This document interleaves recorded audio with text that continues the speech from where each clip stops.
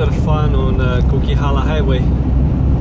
I swapped the tires. I installed the winter tires today. It's uh, December, uh, not it's uh, January third. I thought I, uh, I would avoid using those uh, winter tires, but when I look at the camera in the morning, uh, webcams here on the, on the highway, I saw lots of lots of snow. Now it's not too bad. So the uh, images on the webcams uh, got me thinking. So I spent two hours to install these tires.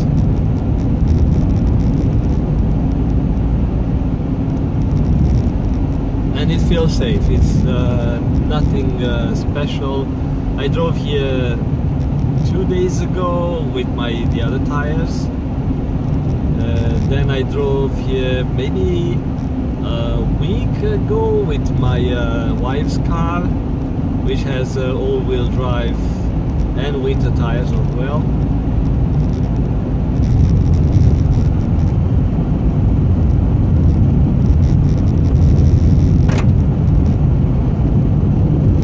So it's not bad at all. I don't know if it's salt or gravel.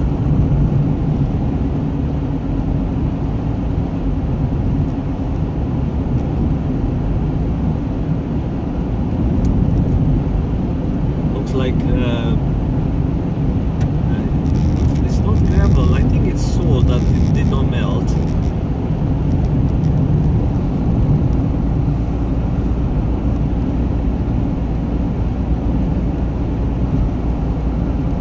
So this is more tre- uh, the most treacherous uh, segment of the highway here. Uh, no big of a deal. Uh, you can drive even uh, in two-wheel drive.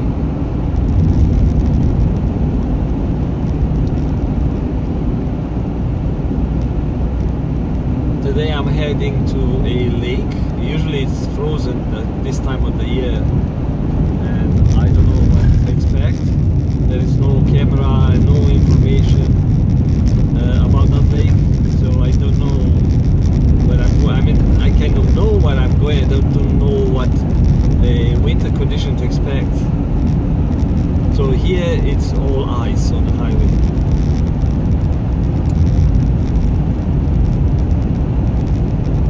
I could try to set my brakes, see how far I'm sliding, but the thing is, um, I have a truck behind me.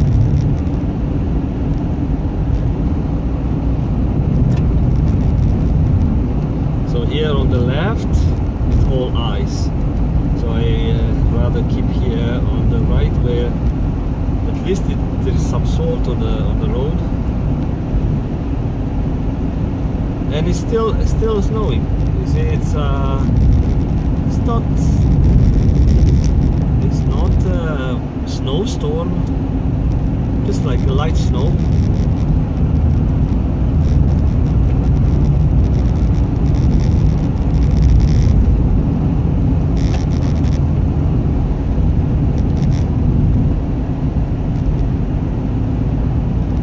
So now here I can see the pavement and I see how the uh, the wind was moving some snow around earlier.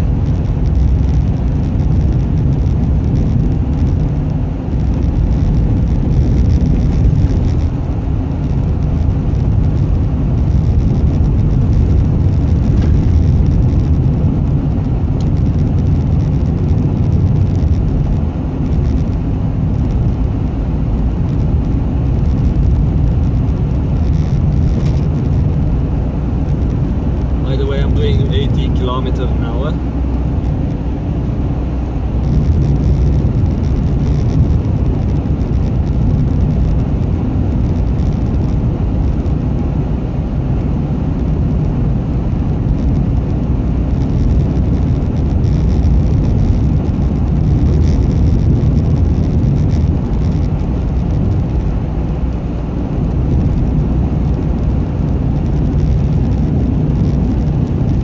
and this is the Bright, uh, Brighton.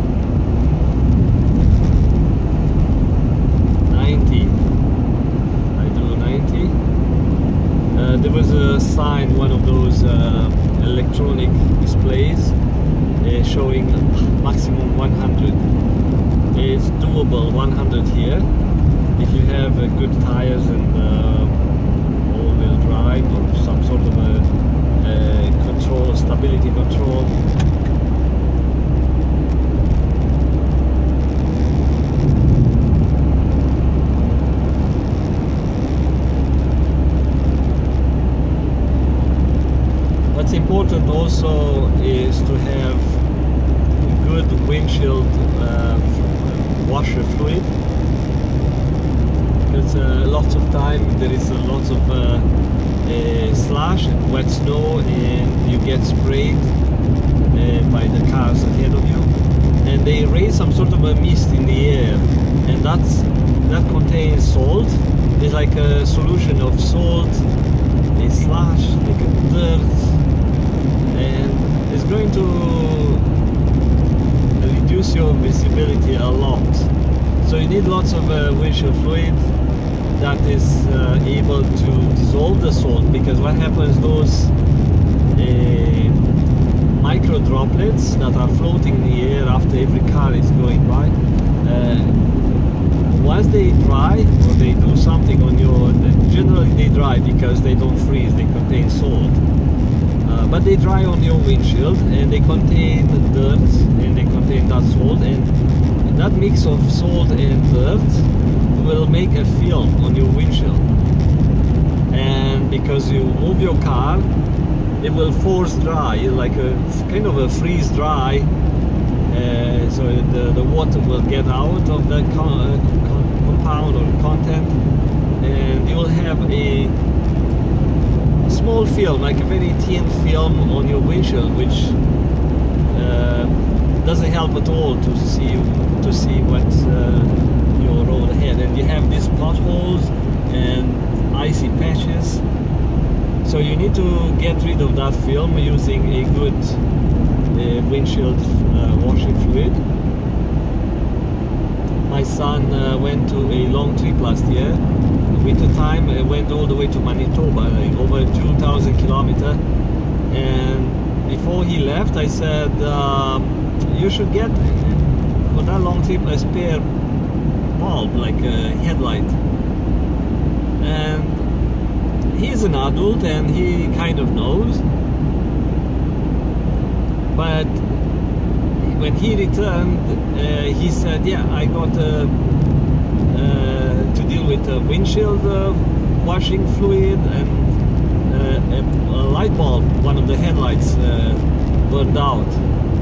And why that?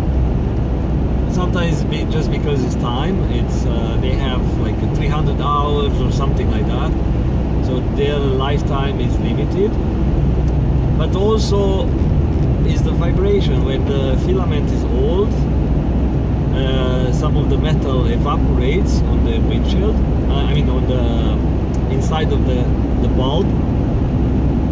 Now the filament is thin, and when you apply the same voltage, generally when you drive your car, it's about 14 volts.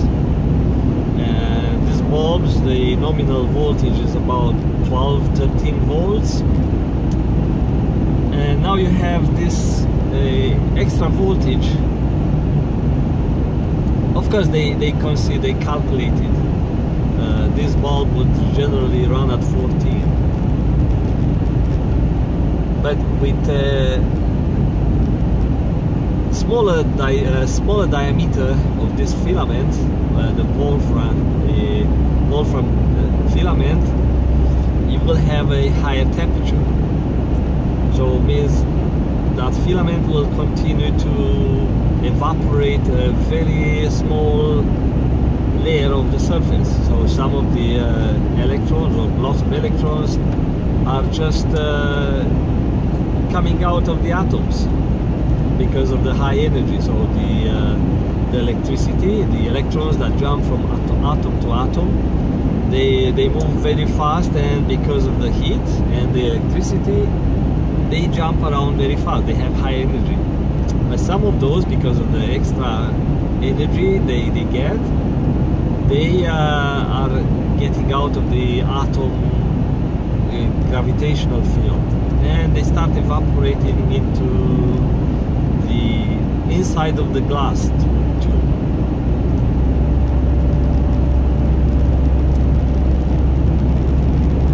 and now the filament is hotter it's like a very close to the melting point which is like a 3000 something um, Kelvin. Uh, I don't know in Celsius it could be 18 I, don't know exactly so don't quote me at all here. But the filament is getting very very hot next to the near the melting point. And now it's softened. And with the vibration of the car car uh, hitting potholes ice um, ice piles stuff like that little rocks that vibration will uh, lead to the rupture to the to the to the breakage of the oopsie. Something is not right here. The car. I felt the car doing something like a wobbling around. So I need to test the, the, the brakes. But I have a big truck behind. So I'll take the first exit. And I'll take uh, I'll test the brakes because I it was unexpected to to feel it like that. It was like uh, the road was doing something weird and I don't know what it is. So it says exit 30k an hour.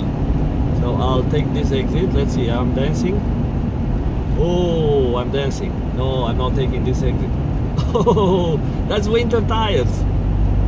That's winter tires. And now I, I started to dance and it was not good. Okay, so I'm doing 70. That's not not fun. I thought it's going to be fun, but it's ice. Let me see whether I can uh, pull over.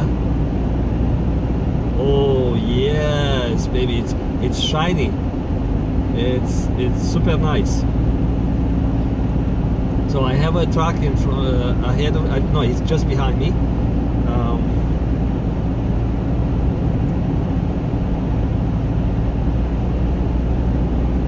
thought the winter tires will do the job.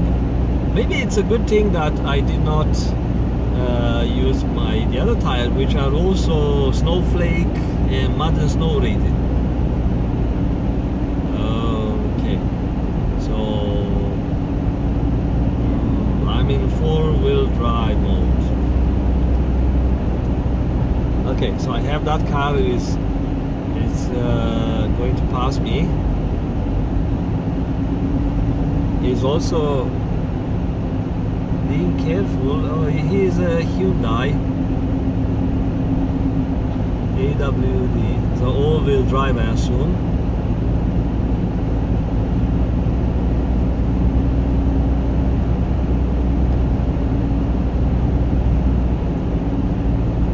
Imagine a, a car with two-wheel drive only. Let's see. Snow, snow. Okay, so it's time to test. Uh, the thing is, I don't want to spin on the highway. Okay, let me find an exit.